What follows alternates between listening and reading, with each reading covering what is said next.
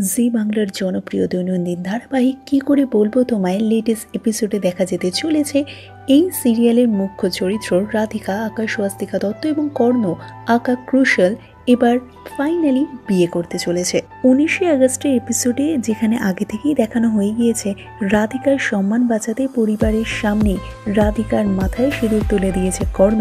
সেখানে এইবার দেখা যেতে চলেছে, আনুষ্ঠানিকভাবে বিয়ের পিড়িতে বসতে চলেছে কর্ণ এবং রাধিকা। অর্থাৎ আনুষ্ঠানিকভাবে এবার তাদের বিয়ে সম্পন্ন হতে চলেছে। অনেকদিন ধরেই কিন্তু দর্শকরা অপেক্ষায় বসে রয়েছেন বহু চর্চিত জুটির পর্দায় বিয়ে দেখার জন্য। তবে কর্ণ রাধিকার বিয়েতে বাধা হয়ে দাঁড়াচ্ছিল বারবার পায়েল, সেন, তৃষা, সোনালী কাকিমা এবং জয়, যারা নিজেদের স্বার্থ চরিতার্থ করার জন্য তাদের দুজনকে কিছুতেই এক হতে দিচ্ছিল না। কিন্তু শেষ পর্যন্ত পরিস্থিতি কিন্তু কর্ণ ও রাধিকাকে এক করে দিল।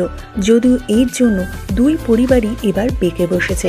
সামনে কি আসতে চলেছে সেটা জানতে হলে কিন্তু নজর রাখতে হবে ধারাবাহিকে। কর্ণর মা যেখানে সেন পরিবারের মর্যাদা রাখতে তাদের আনুষ্ঠানিকভাবে বিয়ের অনুষ্ঠান আয়োজন করে সেখানেই কিন্তু রাধিকার মুনি তার সাথে সমস্ত সম্পর্ক বিচ্ছিন্ন করে দেয়।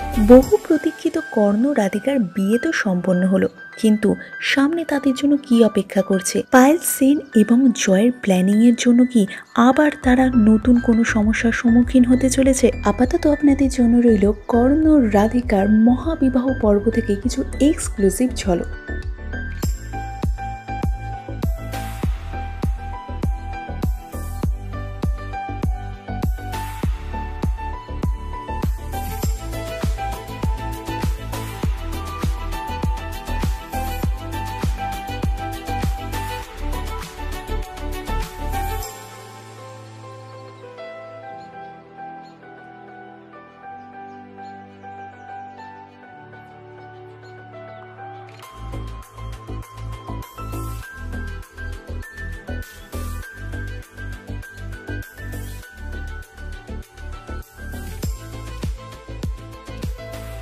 এই বিষয়ে আপনাদের কি মতামত? কমেন্ট করে জানিয়ে দিন আমাদের চ্যানেলে এবং লাইক শেয়ার ও সাবস্ক্রাইব করতে ভুলবেন না বন্ধুরা।